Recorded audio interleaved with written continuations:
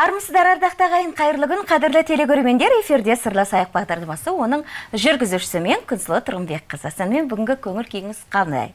Ә, бүгін қандай түс көріп шықтыңыз? Көңіл күйіңіз соған байланысты болатыны ақиқат. Ә, кейде біздер ә, көрген түсімізге байланысты өзіміздің өмірімізді өлшеп екшеп өзіміздің білгеніміз бойынша жұмыс жасап кететін өзімізді бір сәуегейлік танытып кететін ұрымтал тұстарымыз болатыны ақиқат. Сондықтан дәл осыған көптеген көрермендеріміздің сұрағына жауап беру мақсатында бүгін біз түсімнен қорқамын деп бағдарламамыздың атын осылай айдарлап алдық. Сонымен бүгінгі біздің эфирімізге келіп отырған аяулы жандармен таныстыруға рұқсат етіңіздер. Разия темірбаева дінтанушы ханым қош келдіңіз апа. Рахмет алла риза болсын. Сізден де алла разы болсын. Мақсат айдарова дінтанушы. Қош келдіңіздер. Көңіл күйлеріңіз қалай? Керемет. Әзілден ағытып қалжыңнан қағытып қояйын. Осы біздің эфирге келетіндеріңіз жөнінде ә, түс көрген жоқсыздар ма десем? Қалжыңдап қояйық енді. Сонымен түс дегеніміз не апа? Нақты түсіндірмесі бар ма? Оны зерттеп ә, біткен тақырып па? Жалпы ғылым не дейді? Енді бір сұрақтың ішіне бірнеше. Өйткені бұл өте ауқымды дүние. Түс туралы адамдар өз білгеніменен өмір сүріп жатқан жағдай бар. Кейде тағдырын өзгертіп жіберетін маған осындай түс көрді маған соны істеме деп аян еткен болу керек дейді да мүлдем ә, қатысы жоқ нәрсеге бой алдырып жатады. Осы жайында айтсаңыз. أعوذ بالله من الشيطان الرجيم بسم الله الرحمن الرحيم алейкум халқым сүйікті пайғамбарымыз саллаллаху алейхи уассалам түс туралы айтып кеткен түс ол пайғамбарлық емес түс сүйінші деген сонда ә, сахабалар сұраған сүйінші деген не деген уақытта пайғамбарымыз саллаллаху алейхи уассалам түс сүйінші деген екен түс сүйінші сүйінші түс үш түрлі болады түс үш түрлі болады бірінші ә, түс илахи түс болады. Екінші түс ә, шайтани түс болады. Үшінші түс ә, табиғи. а? табиғи түс па табиғи түс емес ә, жаңағы сыртқы әсерден болатын. айта. Сыртқы қоршаған ортадан Иә. ойымыздан сана сезімімізден біздің ә, түйсігімізден туындайтын түс болады. Бұл ә, түстер илахи түс дегеніміз аллах тағаланың адамдарға білдіретін түсі. Ол түс ә, құраннан және хадистерден алынады. Шайтани түс дегеніміз не? Шайтани түс дегеніміз біз ә, аллах тағаланың бұйырған нәрселермен жүрмейміз. Таза жүрмейміз намаз оқымаймыз дәрет алмаймыз және де әртүрлі жағдайларда жүреміз. Әртүрлі жағдайларға барамыз. Иә? Сол ә, сана сезімімізде қалыптасқан нәрсе сол біздің түсімізге түйсігімізде түсімізге кіріп шығады. Неше түрлі қорқынышты жағдайда болып тұрады неше түрлі ә, жағдайларда болады түс. Осы шайтан істейді шайтандар жаңағы не істейді? Сана сезімімізге әсер етеді. Одан адам баласы жаңағы қорқып үрейленіп жаңағы әртүрлі жағдайларға баруы мүмкін. Түстің өзін жорыған уақытта жаңағы шайтани түсті не істеу керек ол түсті ә, жорыған уақытта ә, қа- қалдырып қою керек. Қалдырып қою керек. жормай Иә. қою керек пе? Жорғанда енді жақсылыққа ғана жақсылыққа ғана жору керек жақсылыққа жару керек. Бірақ түстің бәрі жақсы дейді. Негізінде шайтани түстен басқа түстердің бәрі жақсы түстер. Мысалы илахи түстер Аха. ал шайтани түсті ешкімге айтпай не істеу керек. Өзі жаңағы садақасын беріп аллах тағаладан кешірім сұрап осы түсімнің Тәубасына түсім аха, түсімнің жаңағы шындыққа айналмас екен. Осы тәубамыз тәубасына келіп дұғаларын оқып жаңағы садақасын беріп жаңағы шайтан түстерді жасырып қою керек.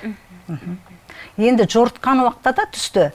Түсті үлкен кісілерге жортқан біздің қазақ халқымыз қазақ халқымыз. Үлкен кісілерге сонда ол кісілер де жаманшылыққа жорымау керек түсті. Только жақсылыққа жору керек. Жақсы. Түстердің бәрі ә, жаңағы әртүрлі болғандықтан ә, қорқынышты болуы мүмкін жақсы түстер болуы мүмкін. Сол түстердің бәрін не істеу керек? Жақсылыққа жору керек екен. Жақсылыққа жол берген енді м, тағы үшінші түсіміз қандай түс еді үшінші түсіміз енді жаңағы өзіміз күнделікті мысалы бір уайыммен болатын түс иә мысалы сіздер ораза кезінде ең алғашқы ораза ұстағандарыңыз естеріңізде болсаңыз түстеріңізде мысалы не көреміз? Мысалы мен өзім сөйттім аузым ашылып кеткенін көреміз иә? Бір ана жеп қойған бір нәрсені жеп жатқан сияқты немесе сәресінің уақыты өтіп бара жатқан сияқты бір шошып оянып сөйтсең ана күндізгі уайымның әсері екен сөйтсең иә? Жаңағыдай күндіз бір нәрсені адам уайымдаса түнде сол нәрсе жаңағыдай түске кіреді иә? Мысалы не- немесе ана кішкентай баланы айтайық мысалы бір нәрсені бір көру бір нәрседен қорықса түнде шошып жылайды деген сияқты иә? Сол күндізгі факторлардың әсерімен болатын жаңағыдай адам өзі ойлап жүретін уайымдап жүретін нәрселері түсіне кіреді. Сол үшінші түрі жаңа апамыздың айтып жатқан үшінші түрі сол болады. Иә көбіне түс көруші адамдардың сонда миы ұйықтамай ма ол қалай? Миы демалмай ма? Адам түс қалай ол ә, адамның сана сезіміне әсер етеді? Ала- адам ұйықтайды. Ұйықтаған уақытта оның ә, жаңағы нервный системасында өзінің ойы бар ғой. Ойы сана сезімі жүйкесі сол нені қалыптастырып қалады ойыменен жаңағы. Соның арқасында ол ғайып дүние ғой. Бізге белгілі емес. Алланың өзі соған жаңағы көрсетіп тұрады. Соны түсінде көріп тұрады. Ол кішкентай балалар да көреді түсті. Үлкен кісілер де көреді орта жастағылар да көреді. Кейбір барлығы көреді дейді иә кейде адамдар түспенен а, былай ғой мынандай нәрсе бар, қара басты дейтін нәрсе бар ғой өзіміздің қазақтың Иә. кең тілінде айтқан кезде. Бір нәрсе бастырады. Адам бастырылады. Деп бір қорқыныш сезім ояна алмайды. Не калимаға тілін келтіре алмайды. Оянғаннан кейін не түсіне өң екенін білмейді бірақ оны кәдімгідей бастырған нәрсені көргенін сезінеді. Бұл қандай жағдайда болады және ол болмау үшін не нәрсе жасау керек адам? Адам баласын субхан аллах тағала жаратты? Субхан аллах тағалаға жаратқаннан кейін өзінің дінін жіберді дінін жіберді. Намаз оқы деді. Құран оқы деді ораза ұста деді зекет бер деді қажылыққа бар деді осы исламның бес тірегін ұстаған адам және де таза жүрген адам намазды бес уақыт жаңағы сол дәретін аласың жаңағы ә, намазға дәрет аласың и алланың алдында не істейсің? Алланы көріп тұрғандай жаңағы ә, намаз оқисың. Және тазалық болады онда. Тазалық болған уақытта жаңағы не болады? Алланың біздің рухымыз таза болады. Рух рух рух. таза болады. Және де біз лас жерде жүретін болсақ жаңағы қайталап айтып кеттім ә, жаман жағдайда жүретін болсақ жаңағы біз бастырыламыз өйткені шай, жаңағы шайтандар жаңағы әсер етеді. Бастырылып кейде ұйықтай алмай жаңағы біреулер қуып келе жатқан сияқты болып жаңағы тауға шығып барасаң шыға алмай сол жүгіріп бара жүгіре алмай сондай күйге жетесің. Енді қарата мақсат жалғастыра ғой жаңа бастырылғанда адам бір физически бір не сезінеді. Өйткені адам өзі біліп жа- жатады деп айтып отырсыз ғой жаңағыдай Иә, біліп иә. жатады үстіне біреу отырып алған сияқты сезінеді. Соны соны паралич деп айтады екен жаңағыдай ұйқы ұйқы кезіндегі сал аха сал болып қалу. иә сал болу ол бір ә, бір бірнеше бір секунд қана бо- болуы мүмкін немесе бірнеше минуттар. ұзаққа иә бір ұзаққа созылғандай шыға алмай, иә. шыға алмайсың ғой. сол бұл бұл жерде бір адамға бір ескерту сияқты ма екен?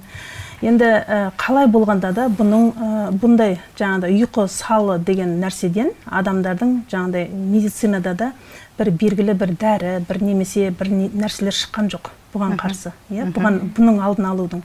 Бұған тек қана адам қалай бол- болғанда да дұғасын оқып жүру керек дәретін алып жүру керек. Ә, жаңағы фәлақ нас дұғаларын оқып иә? Немесе бақара сүресіндегі аятул курси әмәна расул не- аяттары бар Бақараның соңғы екі сүресі- иә соңғы екі аяты немесе аятул курси деген аяты бар. Соны ә, оқығанда адам үйінде мысалы кеш ә, Мақсат азанға ханым, шейін сәл ғана алланың сізден үзіліс сұрайын иә? Сәл ғана үзіліс сұрайын. Себебі бізде эфирде қазір телефон қоңырауы бар екен. Содан кейін жалғастырамыз. Өйткені бұл тақырыпты қысқа қайыруға болмайды. Өйткені әрбір мұсылман баласы білуі керек. Заңдылықтар бар түс көрген кезде.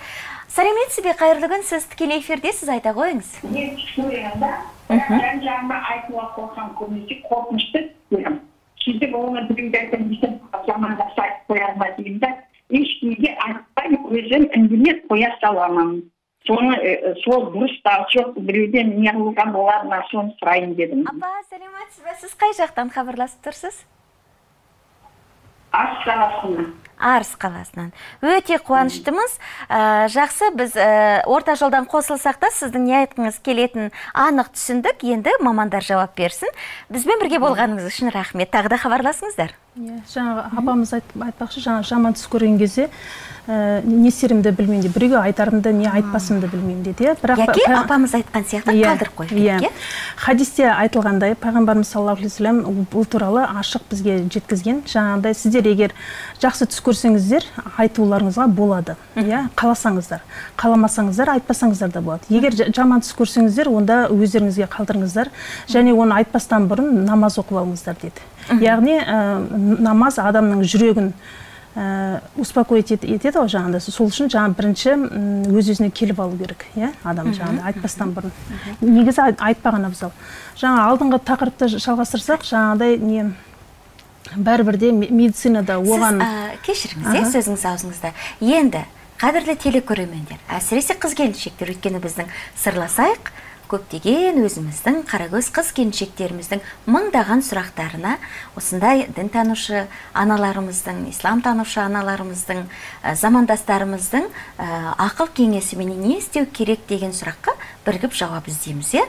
Енді мысалы бізді қарап отырған қыздарымыздың ә, мысалы ә, елу де елу пайыз болуы мүмкін біреу намаз оқуы мүмкін біреу оқымауы мүмкін. Бірақ алланың бұйырған нәрсесіне бәріне еріне бойсұнып таза жүріп отбасына жақсы қарап ә, сондай бір өзінің игі істерін амалдарын жасап жүрген әйел заты болуы мүмкін. Бірақ ә, көп түрді жаңа сауатты түрде білмеуі мүмкін. Сондықтан асықпай қайталап жаман түс көре қалды делік мысалы мен деген ә, иләхи түс болмаса басқа деп айтпай ақ қояйын бізге Иә. жаман жақсы түс деген қазақ ә, қауымына жақынырақ иә? Сондықтан осыны асықпай айтып жіберіңізші не істеуіміз керек? Міндетті түрде дәретпен ұйықтауымыз керек екені ақиқат.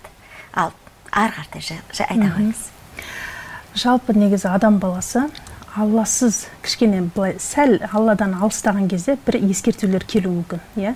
Бізге әрдайым жаңағыдай ә, дәретімізбен жүрсек иә? Жаңағыдай үйге кіргенде шыққан кезде бисмиллямен есігіңізді ашып оң аяғыңызбен кіріп үйге кіргендегі дұғаңызды айтсаңыз сізбен еріп келе жатқан бәленің барлығы артта қалады үйге кіре алмай қалады. Үйге кіресіз бисмилләңізбен жаңағыдай тамағыңызды жасап ә, оны бисмиллямен ауызға алып деген сияқты. Соның жатар кезде өзінің әдептері бар иә? Бірінші төсек орныңызды қағып алу сілкіп қағып алу керек иә? Өйт- өйткені бір нәрселер сізге жайсыздық келтірмеу үшін иә? Ол сүннет. Ол одан кейін жаңағыдай дұғаңызды айту. Ұйықтар алдындағы дұғаңызды айту. Оның алдында дә- дәрет дәрет алып аласыз ғой.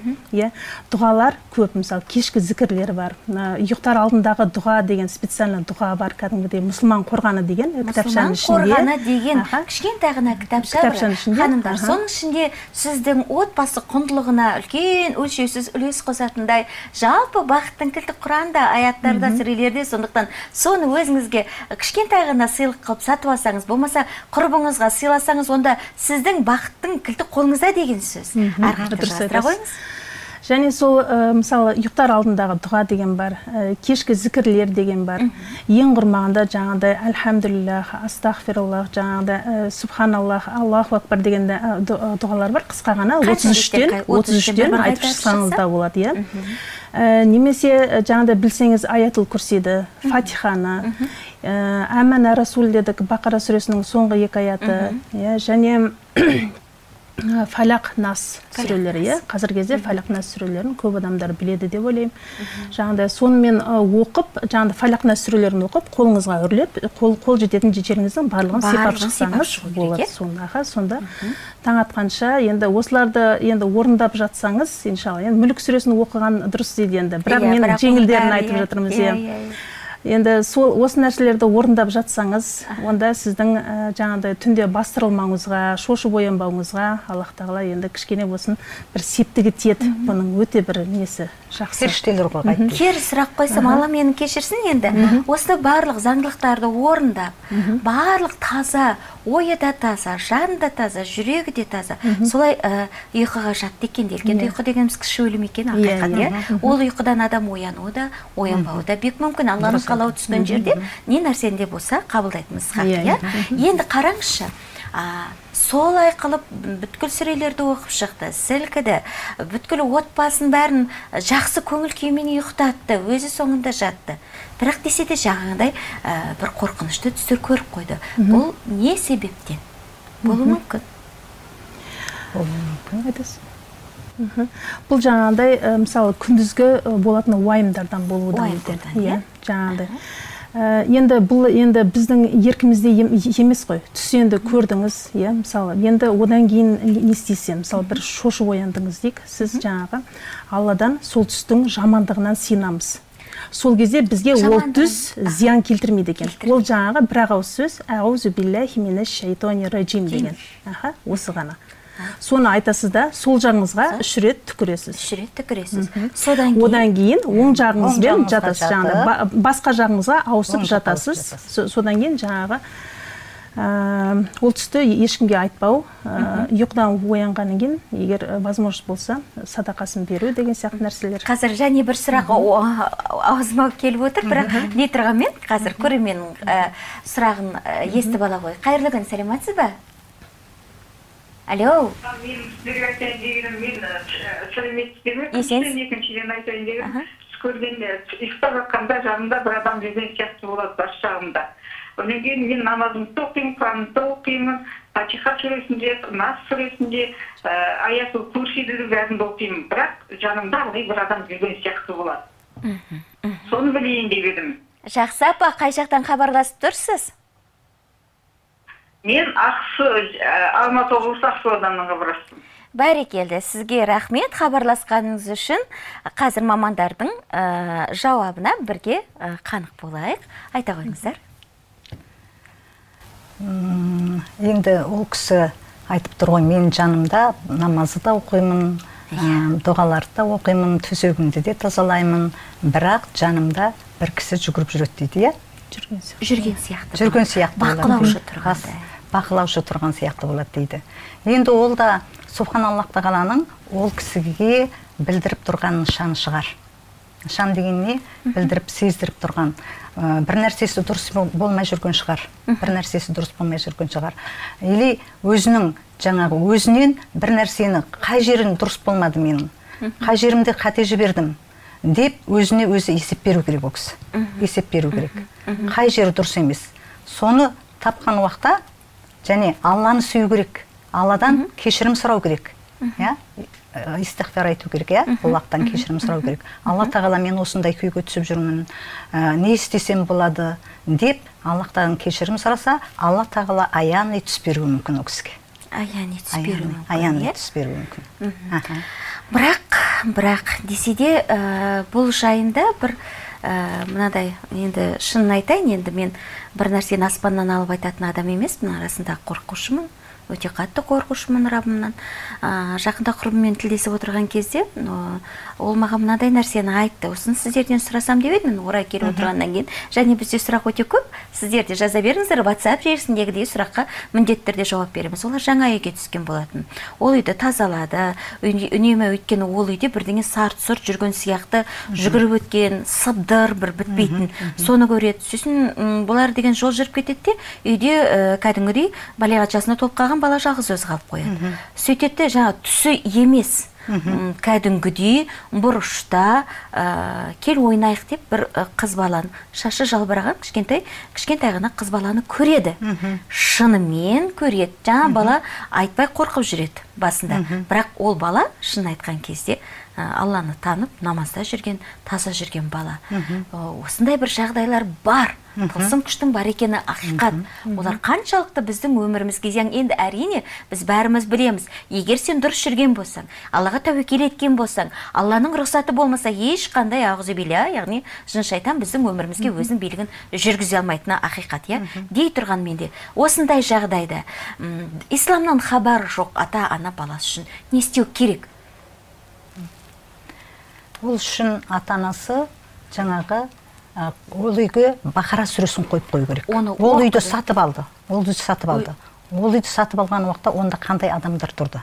Соны зерттеу жүргізу керек. Аха. сосын кейін жаңағы алланы шынайы аллах тағаладан сұраса аллах тағала ол адамға жаңағы аян береді. Бәрекелді. Біз тағы да whatsapp желісіне келген сұрақтарға біраз жауап берейік.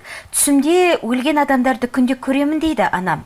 Соларды көрмеуге не жасауға болады? Анам намаз құран оқиды. Бір сұрақ. Екінші сұрақ. Сәлеметсіз ба менің сіздерден сұрарым. Былтыр анам қайтқалы түсіме кірмеген. Жақында кіріп анашым қызыл ақ гүл түскен көйлегімен келіп отыр екен. Бұл нені білдіреді? Дейді. Осы екі сұраққа бір қояйық. Одан кейін және сұрақтар жеткілікті. Бәрінде ә, міндетті түрде жауап береміз. Бізбен бірге болыңыздар. Енді бұл сұраққа жауап бере кетсек жаңағыдай ә, аллах тағала сіз неден қорқасыз? Сол нәрсені сізге үлкейтіп қоюы да мүмкін иә? Бірінші нәрсе қорықпау керек иә? Жаңағыдай қорықпау керек. Біз ә, қорқатын ә, нәрсе емес ол нәрселер. Ол- олар бізге жаңағы пайғамбарымыз хадисінде айтылғандай ол зиян бермейді. Ол түс қана. Ол жай ғана түс. Оған бүйтіп көп мән беріп содан бүйтіп қорқып алсаңыз ол жаңағыдай кері әсерін те- тигізуі де мүмкін иә. Сондықтан ең бірінші қорықпаймыз сенімділікті жүрекке жақсылап орнықтырамыз иә. Аллаға жаңағыдай имандылықты сенімділігіңізді арттырсаңыз алла сізді любой жерден иншалла алып шығады. Ол жерден просто енді біз ә, қазақ болғаннан кейін жаңағы аруақ десе қорқатын халықпыз ғой. Енді әл, әлбетте құр- құран оқисыз өйткені олар сізге мұқтаж болғандықтан келіп тұруы мүмкін. жақсы. Дәл Иә? осы арада тура осы тақылеттес бір көрерменіміз сұрақ қойып отыр екен. А, сұрағын естіп үлгерейік сосын бірден жалпы жауап қатайық қайырлы күн сәлеметсіз ба? айта қойыңыз. Алло. Сәлеметсіз ба апа? Менің сұрағым бар еді мынандай. Шетінеп кеткен немерем бар еді сол түсіме жиі кіре береді да не себепті деп не себепті деп сұрағыңыз келіп тұр ғой иә апа? Иә не себепті деп. А, сіз қандай амалдар қылудасыз апа? Мен өзім намаздан көп дұғалардың бәрін оқимын сонда да. А, қанша болды немереңіздің олай келіп жүргеніне? Шапағатшы болып жүруі мүмкін ғой түс түсінде кіріп жүр ғой келмейді түсіне үш кірген төрт ай болды. Үш төрт ай болды иә? Жақсы апа. Бәрі жақсы бәрі алланың қалауымен екен. Сіз өзіңіз де жақсы біліп тұрсыз ғой дей тұрғанмен сіздің сауалыңызға апаларымыз мақсат ханым жауап беріп көрсін. Рахмет сізге. Енді бұндай жағдай өзім басымнан да өткен осыдан он бір он екі жыл бұрын бір кішкентай жаңағыдай ту- туған кезде балам ше- шетінеп кетті де. Содан ана бала түсіме кіре беретін мен. Содан кейіннен уже бірнеше ай бойы түсіме кіріп жүрді бес алты ай бойы. Содан кейін кейіннен өзім ойлаймын да қазір ой- ойлап отырсам жаңағыдай бір чувство вины сияқты мен өзімде бір Кінәлі. иә кінә сезінемін бе екен сондай бір нәрсе болды да. Енді бұл жерде енді шариғатқа неге ешқандай қатысы жоқ. Просто өзім адам ретінде айтып отырмын өзім басымнан өткізген бірақ одан кейін жаңағындай ә, сол нәрсені көп ойлай бергендіктен бе екен неге олай неге олай деп жаңағыдай бір қимастық бір сезіммен бір қалып қойған ә, болса да адам түсіне кіреді ау деймін. Сондай бір нәрселер иә. Жаңағыдай ә, нелер. Ә, сондықтан да жаңағы кейіннен өзім көңілімді басқа нәрсеге толық бұрдым. Сабаққа жаңағыдай толық кіріп жаңағыдай медресеге барып сабағымды беріп сөйткеннен кейін жаңағыдай ақырындап ақырындап кете бастады. Одан кейін уже мүлдем түсіме кірмейтін болды. Со- сол сияқты басқа да кісілер жаңағыдай апамыз болуы мүмкін иә атамыз болуы мүмкін сөйтіп жаңағыдай кіретін еді иә. Бірақ со- соны бірақ ол енді жаңағы қимастық сезіммен де кіреді. Бір жағынан бір ә, жаңағы дәметіп келуі де мүмкін. Енді кішкентай балада енді ондай дә- дәмету бол- болмайды ғой. Оның өзі бізге шапағатшы болады иә? Жаңағыдай енді ана үлкен кісілердің кіруінде жаңағыдай дәмету бо- болуы мүмкін. Өйткені жаңағыдай бізден дұғаға мұқтаж ол кісілер. Мұқтаж. иә. Олар бізге емес біз оларға тек қана құранмен Иә. жаңағы олардың артынан баратын сауапты істерде үлес құран оқыған уақытта құран тірі адамға түскен. Құранды оқып біткеннен кейін дұға жасаймыз ғой. Субхан аллах тағала сол дұғамызды қабыл алатын болса аллах тағала ол кісілерге жеткізеді. Сол дұғамыздың арқасында ол кісілер жаңағы біз тілейміз ғой жандары жанатта болсын қабірлері жанат бақшасы болсын алла тағала біліп істеген білмей істеген күнәларын кешіре көр деп. Осы дүниеде қазақ халқы не, не айтқан менің артымда пұл қалғанша ұл қалсын дейді. Қалай тілеген ол? Ұл болсын мейлі қыз болсын ұрым үрім бұтақтары артынан дұға тілейді. Бізде дұға ғана барады. Дұға. Алла тағала қабыл алса сол дұғамыз ол кісілерге жаңағы жәрдемші болады. Енді рас ақиқат иә ә, асылында біз енді еш нәрсені аспаннан алмаймыз апа ә, ермен ажырасқан ә, әйелдер болады жұбайымен ажырасқан ерлер болады. Болмаса жаңағы енді жесір қалып отыратын да а, жағдайлар бар өмір ғой барлығы иә? Сонда кейбір кездерде адамға ә, мына жерде мен енді сұрақтың несі бойынша түсте ұятсыз түстер көрсе не болады дейді оны қалай көреді? Не себепті ондай көреді? Осыған жауап берейік. Көріпкелдер түс көріп бәрін біліп отыра ма? Айтқандары дәл келеді ғой. Олар қайдан біледі? Кез келген адам ондай мамандықты игере алады ма? Алматы қаласынан дейді. Осы жалпы түс көре салып көріпкелге шауып баратын балгерлерге баратын біздің сапарластарымыз жайында не айтасыздар?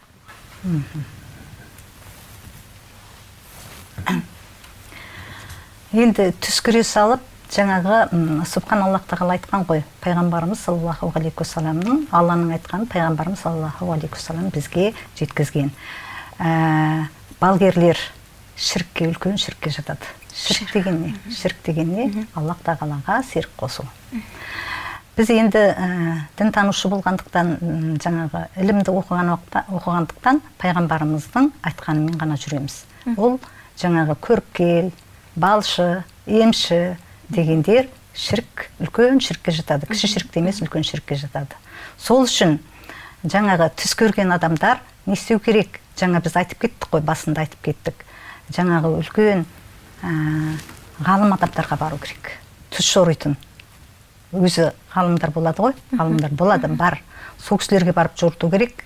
Ә, сосын кейін не істеу керек? Өзі сол жаман түс болса оны жылы жауып қойып қойып және аллах тағаладан мен осы түсімді субхан аллах тағала жақсылыққа жеткіз. Жақсылық болсын. Деп түстің бәрі жақсы болады дейді. Негізінде түстерді жақсыға жору керек дейді. Қалай жорсаң түсті солай болады дейді. Сол үшін не істеу керек? Түсті жақсылыққа жору керек. WhatsApp желісіне келген тағы да сұрақтарға жауап берейік. Сәлеметсіз ба мен жүкті кезімде көп бастырылатынмын. Күйеуімнің ата анасынан қалған үйде тұратынбыз. Күйеуімнің ата анасы қайтыс болғанына біраз жыл болған. Мені мазалайтыны үйге кім қонақ болса сол міндетті түрде бастырылып жаман түстер көріп шығады. Сол неліктен болуы мүмкін? Кейіннен ол үйді сатып көшіп кеттік. Бізден сатып алған кісілер де көп ұзамай ол үйді сатып жіберіпті. Тылсым күш. Қазір екінші бір сұрақты бірге оқып кетейін. Мен түнде дұға оқып дәрет алып жатам. Бірақ түсін, түстерім өте қорқытады. Шошып ояп, оянып кетемін. Не істеу керек? Дұрыс ұйқы болу үшін. Жын шайтан жұбайымды қылқындырады. Не істеу керек ондайда? Қордай қаласына. Қордайдан дейді. Енді жаңағы барлық нәрсе исламнан алынады. Барлық нәрсе аллах тағаланың бұйырған бұйырған бұйрығын бұйрық, бұйрығынан болады. Енді субхан аллах тағала айтты ғой ә, жаңа қайталап айтып кетеміз. Намаз оқыңдар таза жүріңдер дәрет алыңдар аха. Және мына рухымыз таза болу керек біздің. Жүрегіміз таза болу керек. Жүрек таза болу керек. Және киген киіміміз де таза болу керек. Жүрген үйімізде отырған о- отанымыз да таза болу керек. Үйіміз де таза болу керек. Қоршаған ортамыз да таза болу керек. Және біздің жүрген арамызда қандай жаңағы адамдармен қатынас жасайтын болсақ сол адамдарға қарай бейімделеміз.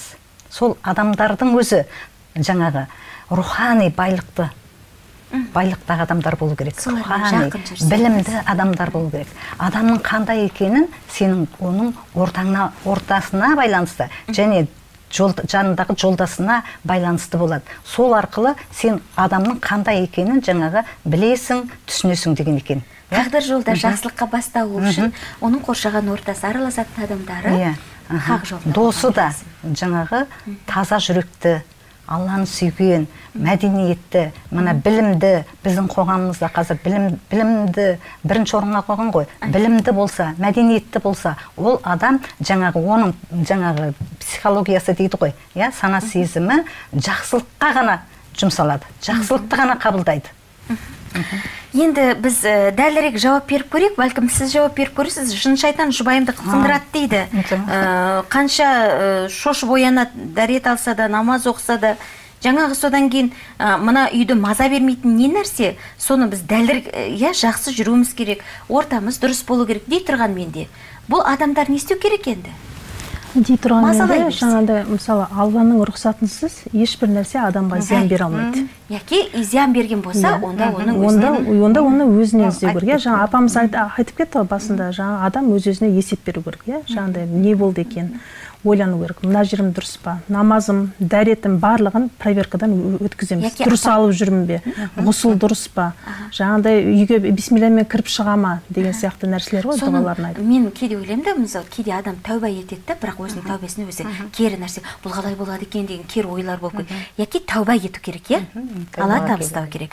және де сұрақтар бар екен. Мен павлодар облысы екібастұз қаласынанмын. Түсте үлкен ә, түсте үлкен мен бітті мешіттерді көрдім біткен мешіттерді дейді иә? Оны қағып жұмысшылар істеп жатыр екен. Мхм. түсті қалай түсінуге болады? Тек мешіттер ғана болды. Намаз оқимын құран оқимын дейді. Яғни ә, мешіттер көрген жұмысшылар жұмыс жасап жатқан. Мүмкін енді сізді бір ә, мешіттің құрылысына көмек етуіңіз керек шығар керемет керемет керемет түс қой ол. Илахи түс қой. Мешіт мешіт деген мешіт деген алланың үйі иә? Бірінші. Илахи түс қой ол. Мешітке көмектессе құран оқыса мүмкін алла тағала оның алдына жоспар қойып беріп, беріп тұр. Құран оқы намаз оқы мешітке бар мешіттегі жаңағы сабақтарды оқы пих ақида жаңағы ә, әдептің өзін мешітте үйретеді иә? Әдептің өзін. Біз қалай қарым қатынас жасауымыз керек? Апам илахи түс көрдім деген кезде жүрегі сондай нұрланып сондай жарылып жа- иә. беті сондай жүзі сондай нұрланып ке- кетті. керемет қой енді илахи түсен Аха, жақсы апатай Ә, тағы да бізге телефон қоңырау келіп тұр екен. Қайырлы күн сәлеметсіз ба біз сізді тыңдап тұрмыз. Ассалаумағалейкум Алейкум. Ассалам. баракатуху өзім қарағандыдан сөйлеп тұрмын намаз оқитын апамын мұнда былай деп жазылып тұр мусульманский календарьда одобрено каноническим отделом муфтията республики дагестан дейді если хочешь увидеть во сне усопшего человека дейді совершает намаз ночной намаз сунату битру а затем четыре рахата в каждом рахате читает альхам и альхакуму после намаза просит у Аллаха чтобы тот показал ему того, кто в могиле, как он есть. После этого он увидит сон. Мен осы анамды көрейін деп едім, құдай қаласа. Бола ма екен айналайындар. Алла түсіндік қазір және бір сұрақты whatsapp желісінен қосып ала кетейік мен дейді түсімде өзімнің намаз оқығанымды көремін. Намаз оқу туралы кіреді. Не себепті екен өзім әлі намаз оқымаймын. Енді сізге иман келіп тұр да сәлем салып тұр да алла тағала алла тағала айтты Иә, ғой мен сүйген құлымды қана өзімнің ілімім әкелем деді өзінің ілімі не? Жаңағы мешіттегі намаз. Құранды оқуға үйрету әрбір әріпке он сауап. Бір әріп үйренсең құраннан бір әріп үйренсең мен саған он сауап беремін деді. Ол қаншама ә, жаңағы аяттарда сүрелерде қаншама қаншама жаңағы әріптер бар қаншама сауап алады. Иә? Жаңағы фиқты фиқтың өзі ғылым ақиданың өзі ғылым аха құранның өзі ғылым хадистің өзі ғылым аха. Ғылым мына алланың ілімін ағаш бесіктен қабір бесігіне дейін үйрене бер үйрене бер үйрене бер. Мен білем деме деген екен. Мына ағаш өсіп тұр ғой далада ағаш өсіп тұр. соның жапырақтары қанша иә? Сіз оның санына санын Жетпейсіз. жетпейсіз. Сіз қанша университет бітіріңіз қанша колледж бітіріңіз сіз алланың ілімін мен білдім деп айта алмайсыз. Алланың іліміне әкелген адамдар ең бақытты адамдар. Ең осы дүниедегі алланың сүйген құлы. Алла тағала сүйген құлымды ғана әкелем деді өзімнің іліміне. Сол үшін барлық халқымыз барлық ә, жаңағы жақындарымыз достарымыз алланың іліміне келіңіздер. Аха. Бұл дүниелік ілімді де алайық. Сонымен қатар алланың ілімін де алсақ біз екі дүниеде де жақсылыққа жетеміз. Ту не деген мейірімдісіз апа? Жұмсақсыз жақсы бәрекелді. Ә, және де сұрақтар бар екен мұнда. Ә, кішкентай сәбилер кейде шошып оянады ғой ол неден екен? Олар да жаман түс көре ме дейді? Талғар қаласынан сәбидің жаман түс көруі мүмкін бе деген сұрақ қой. Және де сәлеметсіздер ма? былтыр нағашы апам қайтқан менің түсіме апам кірді. Сонда апам маған үлкен үй берді. Нағашы көкеме ақ машина берді. Машалла. мамама ақ көйлек берді. Не мағына білдіреді екен дейді? Апа? Өте жақсы түс қой бұл. Алла тағаланың оған аян беріп тұрғаны. Ол балаларына риза туған туысқандарына риза көрдіңіз бе? Барлық жақсылықты субханаллах тағала сол түс арқылы жеткізіп тұр ғой. Апа ә, үнемі бір қолдар келіп ақ ә, аппақ жап жаңа су жаңа етік кигізіп жатса аппақ ол қандай? Өте к- әлгі біздің енді жас кезімізде жаңағы етік берсе мына жігіт деп А, кететіннің жігіт деп айтатын иә. Етік енді түсті жақсыға жору керек екен. өзінің жорғанына байланысты ғой. Мысалы ол ойлап қыз, қыз кезімізде біз етік беретін болса о бізге жақсы жігіт кездесетін болды. Жақсы жігітпен танысатын болдық деп жаңағы жорамалдайтынбыз. Түс деген жорғанға байланысты. Жорған. Жорған. Бәрекелді. Жорушыларыңыз мықты ілімді кісі болсын деп тілейік енді. Тек дұрыс сізге жаны ашып тұратын. Сізде ризық, нәсібі молынан болғанын қалайтын. Сіздің отбасыңызда жақсы болғанын қалайтын адамға түсіңізді жортсаңыз болады екен. А, бізде қазір тағы да телефон қоңырау келіп тұр екен. Қайырлы күн. Есенсіз бе? алло саламатсыз ба мен қордай ауданынан хабарласып жатыр едім мен осы намаз оқығаныма сегіз жыл болды да сол намаз оқығаныма сегіз жыл болды. Осы күнде осы түнде жындар қылқындырады мені. Содан этот э, алладан не сұрасам бәрін қабыл ете береді адамға ашулансам э, не қылсам соның бәрін қабыл ете береді мен осыдан уже өз өзіне қорқатын болдым. Күнде түнде намаз оқимын дәретім да дұрыс ғұсылым да дұрыс. Білмеймін. Қандай сөз айтсам да бәрін алла тағала қабыл ете береді. Жақсылықты да жамандықты да не ойласам да осының жауабын таба алмай жатырмын да соны. Көмектесіп жіберсеңіздер жақсы. Кейде адамдар назым қатты деп жатады. Ә, кейде біреуден қиянат өтіп кеткен кезде қатты жүрегіне ауыр алады және ә, бір қалауынсыз бір кейде оған саған сондай болсын деп қойса сол орындалып кетеді. Сол жайында ғой негізі айтып тұрғаны. Енді субханаллах тағалаға истихфарды көп айту керек. Истихфарды көп айту керек. Аллах тағаладан кешірім сұрау керек. Қандай? Оның ә, бір жерінде жаңағы кемшілік болып тұр ғой. Кемшілік болып тұр. Мына аллах тағала не сұрасаң адамдар дейді екі қолын жайып сұрамайды. Егер сұраса мен сол қолды құр қайтаруға ұялам дейді. Біз барлық нәрсені субханаллах тағаладан ғана сұрауымыз керек. Апа бір дәлірек айтып кетейінші кешіріңізші. Сонда адам барлық дұғам қабыл болып қояды дейді. Бір адамға жамандық ойлап қалса ол қабыл болып қойса ол алланың қалауымен бола ма болмай ма? Жаман ойламау керек. Адамдардың бәріне жақсылық ойлау керек. Сонда неліктен ол кісі жаман нәрсе болса да қабыл болып қойды дейді. Неліктен ондай нәрсеге? Алладан кешірім сұрау керек. Өзінің жүрегіндегі жаман нәрсені алып тастау керек. Біреуге жаманшылық ойлама дейді иә? Біреуге жақсы- жақсылық істе қолыңнан келсе жақсылық істе деген субханаллах тағала бір шыбынды даже өлтіруге болмайды. Меккеге барсаңыздар мысалы қағабаға жаңағы мекке уақытысында жаңағы оразада меккеге барамыз ғой. Міне аллах тағаланың бізге жіберген үкімі сол меккеде егер сен бір шыбынды өлтіріп қоятын болсаң бір жапырақты жұлып қоятын болсаң соған не істейсің? Құрбандық шаласың. Аллах тағала айтты бір біріңе дос болыңдар бір біріңді сыйлаңдар құрметтеңдер өсек айтпаңдар өтірік айтпаңдар жаманшылық ойламаңдар мына жүректерің таза болсын. Адамға деген адам бір біріне бауыр туыс. Бауырыңызға сен қандай жаманшылық ойлайсыз? Біреуге жаман бауырыңа жаманшылық ойлайтын болсаң жаман істейтін болсаң сен ә, жаңағы жаман ар, арқасынан жаңағы өсек айтып қоятын болсаң өтірік айтып қоятын болсаң сен менің алдыма келгенде бауырыңның етін жейсің дейді. Сол үшін не істеу керек? Ешқандай жүрегімізде жанымызда тәнімізде жаманшылық болмау керек. Біреуге жаманшылық ойламауымыз керек. Барлық уақытта жақсылық жасауға жақсы сөз сөйлеуге аха барша сол адамның жаңағы күнәсі болса кешіруге аллах тағала айтқан кінәні кешірген кешірім сұраған жеңіл кешіру қиын дейді. Біз кешірімді болуымыз керек. Кешірімді болуымыз керек. Кешірімнің арқасында біз барлық жақсылыққа алланың алдындағы жақсылыққа жетеміз. Жақсы бәрекелді.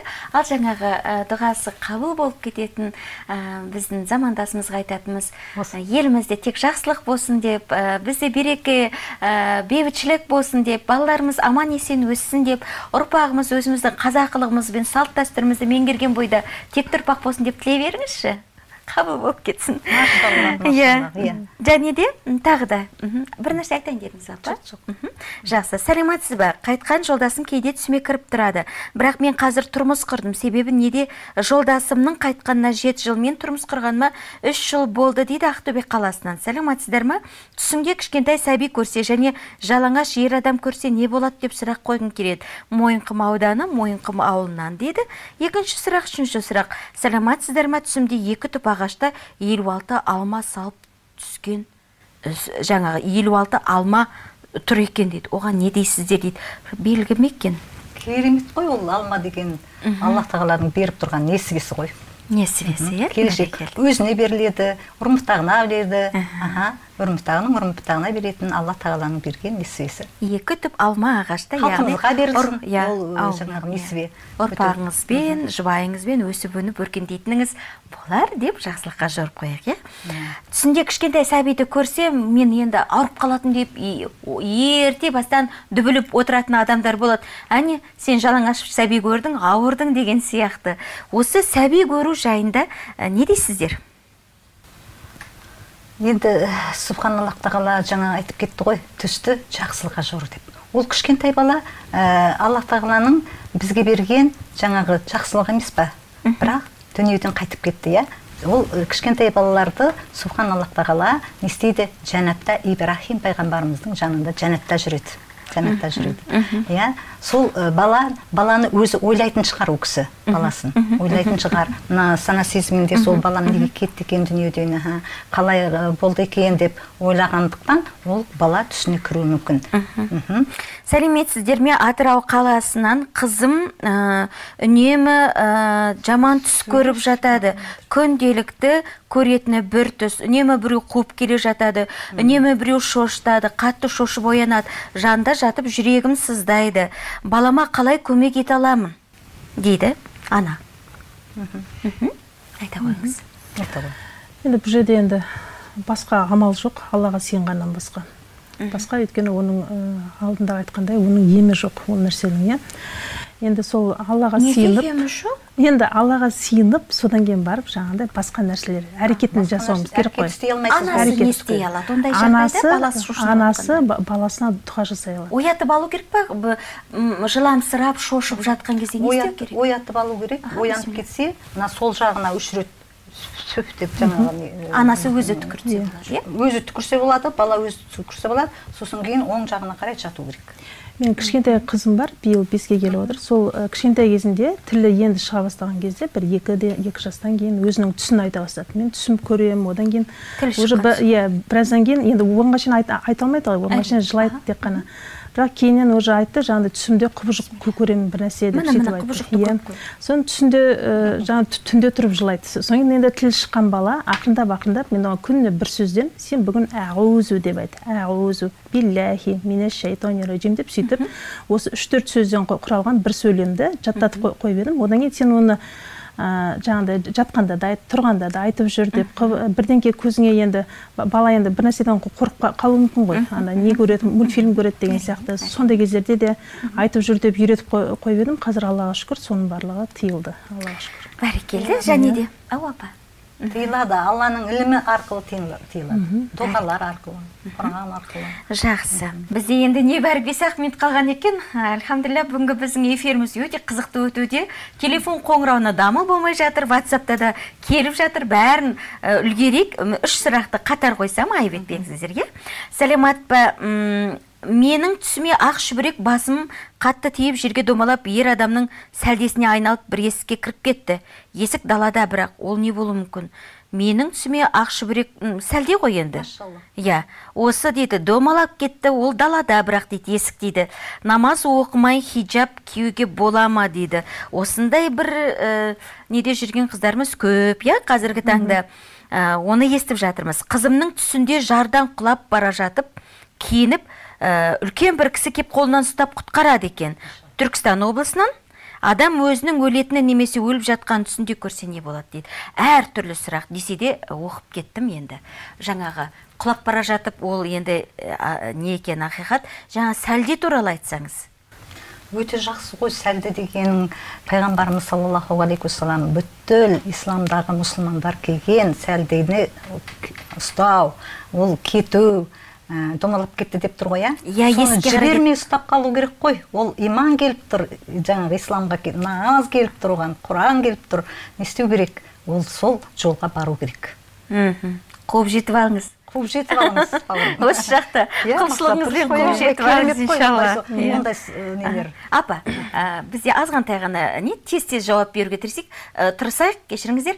М, хиджаб киіп намаз оқымауға бола ма? Дейді Ә, намаз бояушылыққа жоқ. намаз ә, бөлік ә, құлшылық намазды орындау бә- бәрімізге міндет. Енді хиджабты ол намаз оқығаннан кейін ол хиджаб кейін иншалла барлығын орайды. Мына жүректегі иман сыртыңызды да орайды а, хиджаб киіп бірақ намазда болмаса осы жайында болып тұр сұрақ а хиджаб киіп бірақ Хиджаб киіп намазда намаз деген намаз намазды оқығаны жақсы. Оқы- оқып үйренсе негізі қатты қиын емес қой.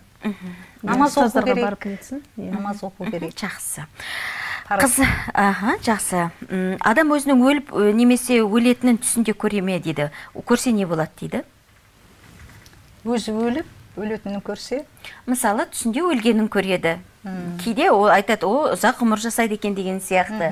Осы жайында. жорғанына байланысты ғой иә. Өзі қалай жориды мен ұзақ өмір сүргім келеді деп аллах тағаланың сөзі аллах тағала ұзақ өмір береді.